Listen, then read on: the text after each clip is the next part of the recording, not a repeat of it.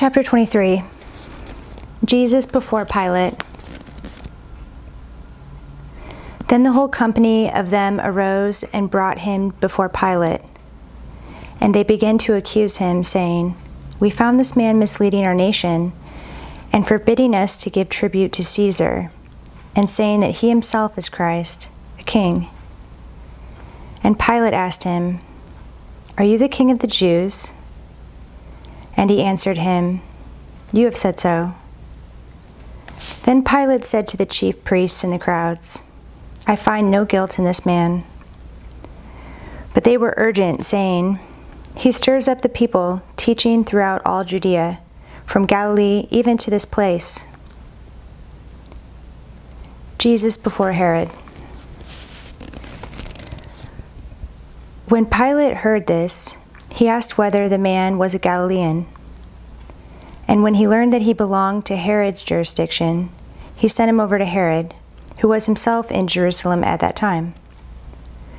When Herod saw Jesus, he was very glad, for he had long desired to see him, because he had heard about him, and he was hoping to see some sign done by him.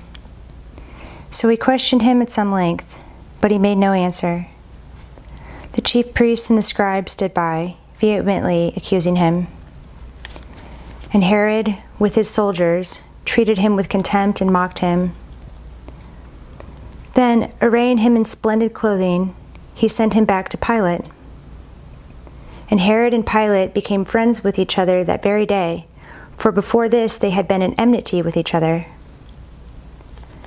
Pilate then called together the chief priests and the rulers of the, and the people, and said to them, You brought me this man as one who was misleading the people, and after examining him before you, behold, I did not find this man guilty of any of your charges against him. Neither did Herod, for he sent him back to us. Look, nothing deserving death has been done by him. I will therefore punish and release him.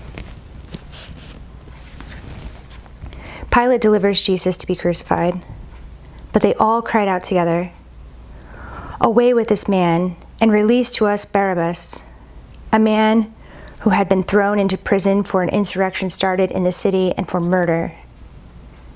Pilate addressed them once more, desiring to release Jesus, but they kept shouting, Crucify, crucify him. A third time he said to them, Why? What evil has he done? I have found in him no guilt deserving death. I will therefore punish and release him. But they were urgent, demanding with loud cries that he should be crucified, and their voices prevailed. So Pilate decided that their demand should be granted. He released the man who had been thrown into prison for insurrection and murder, for whom they asked, but he delivered Jesus over to their will. The crucifixion. And as they led him away, they seized one Simon of Cyrene, who was coming in from the country, and laid on him the cross to carry it behind Jesus. And there followed him a great multitude of the people and of women who were mourning and lamenting for him. But turning to them, Jesus said, Daughters of Jerusalem, do not weep for me, but weep for yourselves and for your children.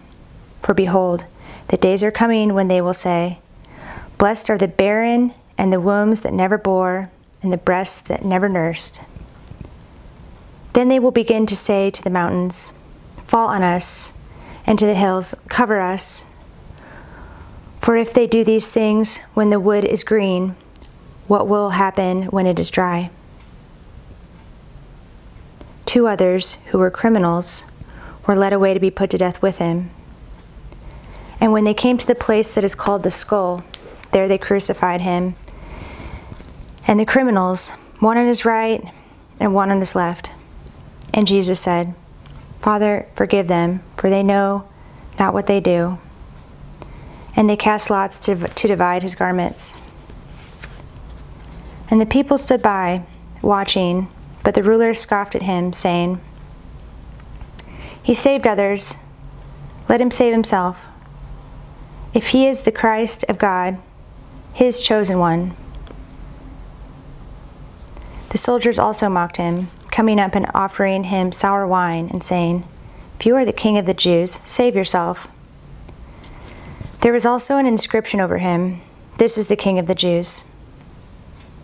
One of the criminals who were hanged railed at him, saying, Are you not the Christ? Save yourself and us.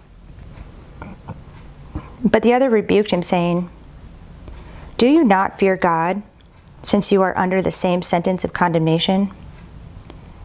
And we indeed justly, for we are receiving the due reward of our deeds. But this man has done nothing wrong. And he said, Jesus, remember me when you come into your kingdom. And he said to him, Truly I say to you, today you will be with me in paradise. The death of Jesus. It was now about the sixth hour, and there was darkness over the whole land until the ninth hour, when the sun's light failed, and the curtain of the temple was torn in two.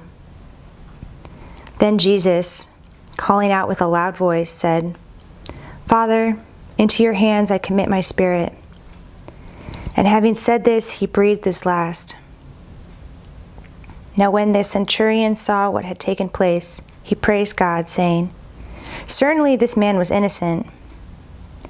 And all the crowds that had assembled for this spectacle, when they saw what had taken place, returned home beating their breasts. And all his acquaintances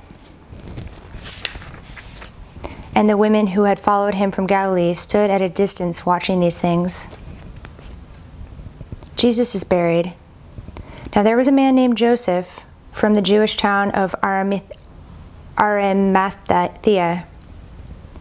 He was a member of the council, a good and righteous man, who had not consented to their decision and action, and he was looking for the kingdom of God. This man went to Pilate and asked for the body of Jesus. Then he took it down and wrapped it in a linen shroud and laid him in a tomb cut in stone, where no one had ever yet been laid. It was the day of preparation, and the Sabbath was beginning. The women who had come with him from Galilee followed and saw the tomb and how his body was laid. Then they returned and prepared spices and ointments. On the Sabbath they rested according to the commandment. Chapter 24 the resurrection. But on the first day of the week, at early dawn, they went to the tomb, taking the spices they had prepared. And they found the stone rolled away from the tomb. But when they went in, they did not find the body of the Lord Jesus. While they were perplexed about this, behold, two men stood by them in dazzling apparel. And as they were frightened and bowed their faces to the ground, the men said to them, Why do you seek the living among the dead? He is not here, he is risen. Remember how he told you, while he was still in Galilee, that the Son of Man must be delivered into the hands of sinful men and be crucified, and on the third day rise. And they remembered his words. And returning from the tomb, they told all these things to the eleven and to all the rest. Now it was Mary Magdalene and Joanna and Mary, the mother of James, and the other women with them who told these things to the apostles. But these words seemed to them an idle tale, and they did not believe them. But Peter rose and ran to the tomb. Stooping and looking in, he saw the linen cloths by themselves, and he went home marveling at what had happened. On the road to Emmaus, that very day, two of them were going to, the to a village named Emmaus, about seven miles from Jerusalem, and they were talking with each other about all these things that had happened. While they were talking and discussing together, Jesus himself drew near and went with them. But their eyes were kept from recognizing him.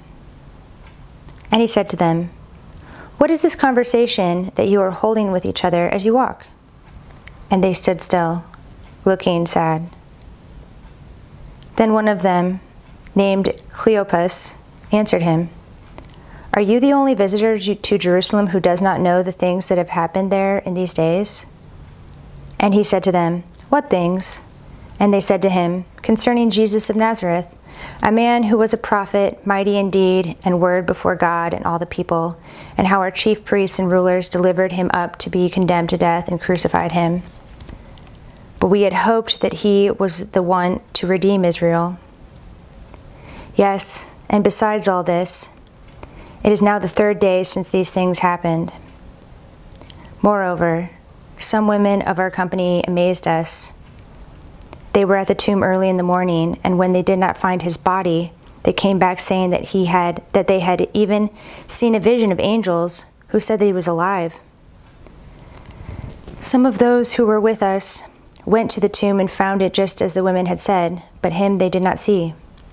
And he said to them, O foolish ones, and slow of heart to believe all that the prophets have spoken. Was it not necessary that the Christ should suffer these things and enter into his glory? And beginning with Moses and all the prophets, he interpreted to them in all the scriptures the things concerning himself. So they drew near to the village to which they were going. He acted as if he were going farther but they urged him strongly, saying, Stay with us, for it is toward evening, and the day is now far spent. So we went in to stay with them. When he was at table with them, he took the bread and blessed and broke it and gave it to them. And their eyes were opened, and they recognized him. And he vanished from their sight. They said to each other, Did not our hearts burn within us while he talked to us on the road while he opened to us the scriptures. And they rose that same hour and returned to Jerusalem. And they found the eleven and those who were with them gathered together, saying, The Lord has risen indeed, and has appeared to Simon. Then they told what had happened on the road, and how he was known to them in the breaking of the bread.